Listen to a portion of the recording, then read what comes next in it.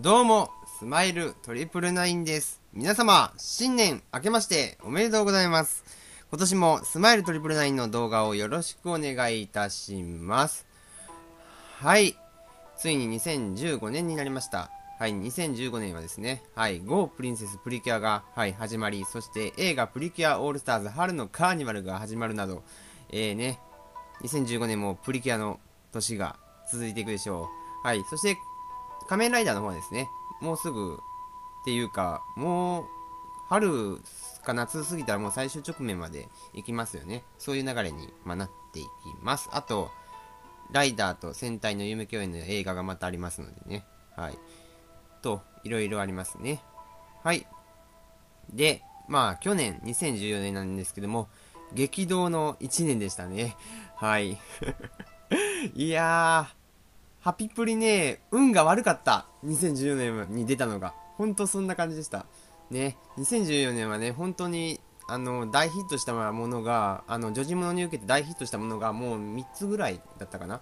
プリキュア以外で3つぐらい出て、大変なことになって、そうそうそう。プリキュアの、そう、まあ、商品とか、まあ、映画とかの、こう、メーターが、こう、ガクンってなっちゃったんですよね。本当に大変な1年で。そして、プリキュアコミュニティの人たちは、えー、っと、まあ、ドキプリが終わってハピプリになっての6月ぐらいか。で、まあ、ちょっと問題あって、で、いろいろあったんですよ。で、まあ、残念ながら、そこから離れていった人たちも何人かたくさんいました。はい。そのコミュニティからね、はい、プリキュア付きのコミュニティ、まあ、Google プラスとか、まあ、YouTube ですね。で、そこから離れた人たちも何人かいて、でも新しい人たちも何人か入ってきました。はい。そういう年でしたね。で、12月に入ってきて、まあ、ようやく安定してきたんじゃないかなっていう。10月からかな ?10 月ぐらいかな ?10 月ぐらいで、まあ、安定してきましたね。はい。っていうことです。うん。さあ、そんな2015年ですけど、さあ、新しいプリキュア、ついにね、10作目のプリキュアになるんですね、通称。本当は12作目なんですけど、2期があるんでね、2期をな、なかったら、ようやく10作目なんですよね。はい。となります。うん。いやー、ついにプリキュアも9つの世界が誕生して、そしてついに10作目の世界が誕生するということで、うん、めでたいですね。そして10周年でもありますんで、はい。